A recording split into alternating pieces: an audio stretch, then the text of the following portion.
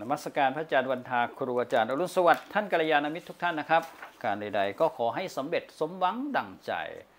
วันนี้เป็นวันที่ 15 ตุลาคมพุทธศักราช 2567 ตรงกับวันอังคารขึ้น 13 ค่ำเดือน 11 ปีมะโรง วันนี้เป็นวันธงชัยเหมาะแก่การมงคลนะครับ สีความสำเร็จของวันนี้คือสีแสดสีเหลืองส้ม สีหมากสุกสีโอรสเสียบโชคของวันนี้คือสีเหลืองอ่อนสีครีมสีขาวไข่มุกสีงาช้าง ทิศความสำเร็จของวันนี้คือทิศประจีมหรือทิศตะวันตก ทิศอับโชคของวันนี้คือทิศบุรพาหรือทิศตะวันออก เครื่องประดับความสำเร็จของวันนี้คือบุษราคำพลอยสีเหลืองส้ม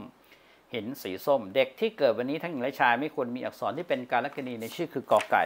ขอไข่ขอขวด ขอควาย ขอคน ขอลักคัง และงองู เด็กชายที่เกิดวันนี้ควรใช้อักษรที่เป็นมงคลสูงสุด ตัวใดตัวหนึ่งนำคือดอเด็กต่อเต่าทอถุงทอทหารทอทงและนอนหนู เด็กหญิงที่เกิดวันนี้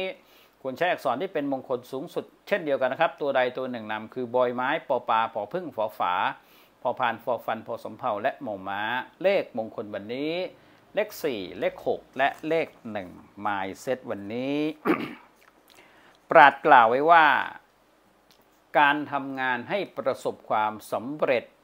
ให้อ่อนน้อมถ่อมตนเหมือนคนไทย ตรงเวลาเหมือนฝรั่ง ขยันเหมือนคนจีน และทำเป็นทีมเหมือนคนญี่ปุ่น